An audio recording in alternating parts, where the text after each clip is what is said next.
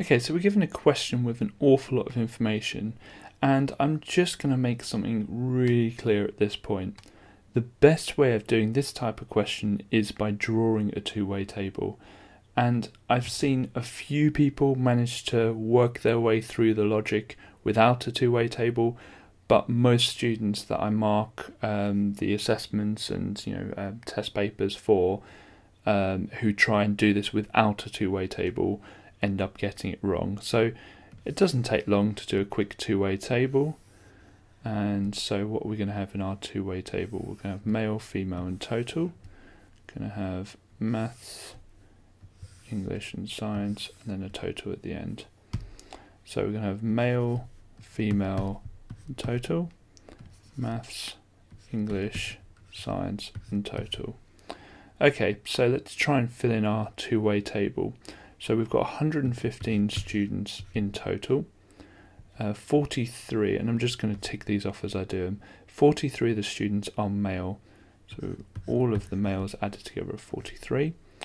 30 of the 52 students who went to science were female, so there's 52 students in total who go to science, and 30 of them are female. 37 of the students went to English, so in total 37 went to English, and 17 females went to maths. So 17 females went to maths. And you might not have yours maths, English, science, you might have English, maths, science, it doesn't matter, you'll get the same answer. So we've got to figure out which one we're trying to find. It asks for the males who went to English. So males who went to English. So we're trying to find this box here. Now you can complete the entire um, two-way table, but we don't need to. We just need to find out what that number is.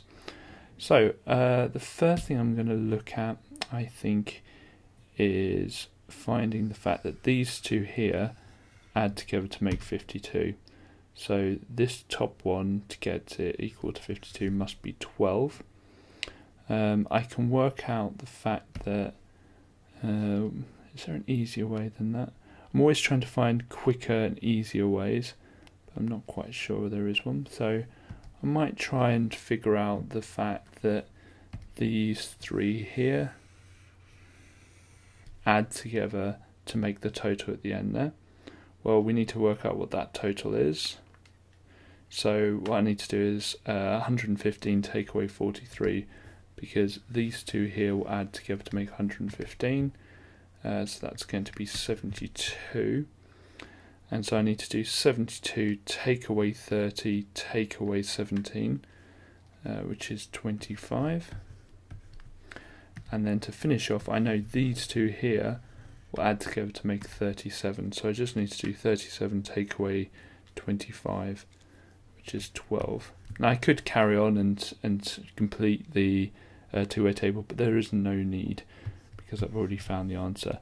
If I had some time later on in the test paper, I might try and complete the two-way table to check that that 12 works out.